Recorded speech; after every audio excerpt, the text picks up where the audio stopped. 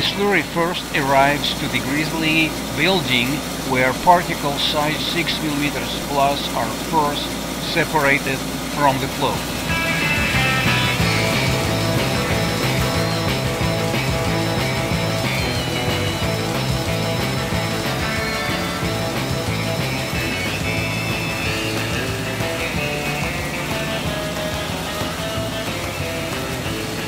The rest of the slurry finally arrives to the processing plant where a cascade of different equipment and technologies is used to catch and separate all sizes of particles from the flow from millimeters to microns and clarified water is pumped down the hole again.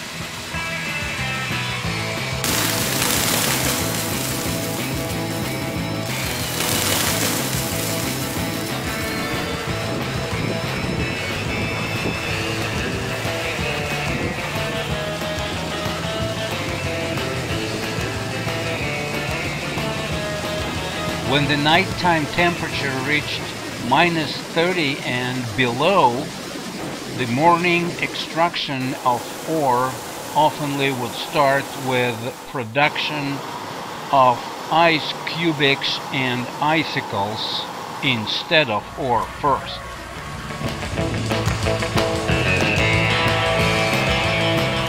But a few moments later, a normal ore production would be restored.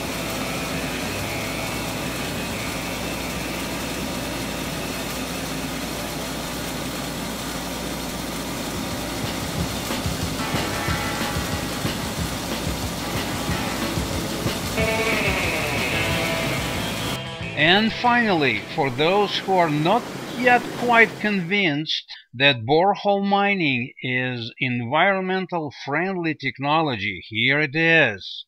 The three beautiful turkey hens visited our borehole mining site right at the middle of the operations.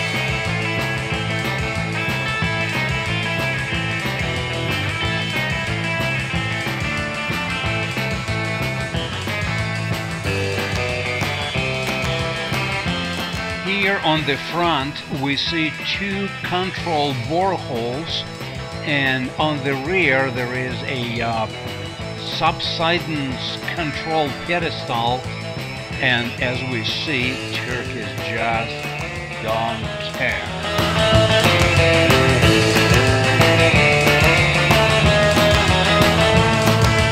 And where is the drill rig? Here it is on the left of the screen is the drill rig with the borehole mining tool in full throttle of operation.